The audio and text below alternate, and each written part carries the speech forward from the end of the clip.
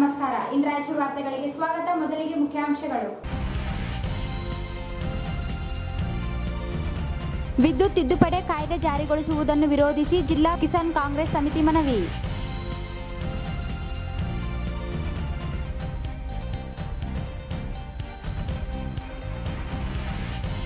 ಕೇಂದ್ರ ಸರ್ಕಾರ ಕೋವಿಡ್ ಸಂಕಷ್ಟದ ಮಧ್ಯೆಯೂ ವಿದ್ಯುತ್ ತಿದ್ದುಪಡಿ ಕಾಯ್ದೆ ಜಾರಿಗೊಳಿಸಿರುವುದನ್ನು ವಿರೋಧಿಸಿ ಜಿಲ್ಲಾ ಕಿಸಾನ್ ಕಾಂಗ್ರೆಸ್ ಸಮಿತಿ ಮನವಿ ಸಲ್ಲಿಸಿ ಒತ್ತಾಯಿಸಿತು.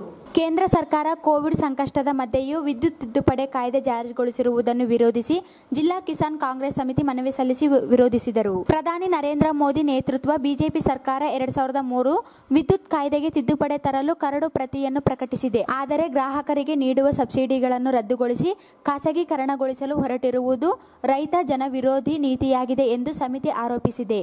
ಖಾಸಗಿ ಕಂಪನಿಗಳಿಗೆ ಅನುಕೂಲ ಮಾಡಿಕೊಡುವ ತಿದ್ದುಪಡಿ ಕರಡು ವಿದ್ಯುತ್ ಹಕ್ಕು ಕಸಿಯಲು ಹೊರಟಂತಿದೆ. ವಿದ್ಯುತ್ ನಿಯಂತ್ರಣ ಆಯೋಗದ ರಾಜ್ಯ ಸರ್ಕಾರ ಅಧಿಕಾರಿಯನ್ನು ಕಸಿದುಕೊಂಡು ಏಕಪಕ್ಷೀಯವಾಗಿ ನಿರ್ಧಾರ ಕೈಗೊಳ್ಳಲಿದ್ದು, ರಾಜ್ಯ ಸರ್ಕಾರದ ಹಕ್ಕುಗಳೇ ಇಲ್ಲದಂತಾಗುವ ಅಪಾಯವಿದೆ. ಕೂಡಲೇ ಗಡುವು ವಿಸ್ತರಿಸುವ ಮೂಲಕ ಕಾಯ್ದೆಯನ್ನು ತಡೆಯಬೇಕೆಂದು ಆಗ್ರಹಿಸಿ ಮನವಿ ಸಲ್ಲಿಸಲಾಯಿತು.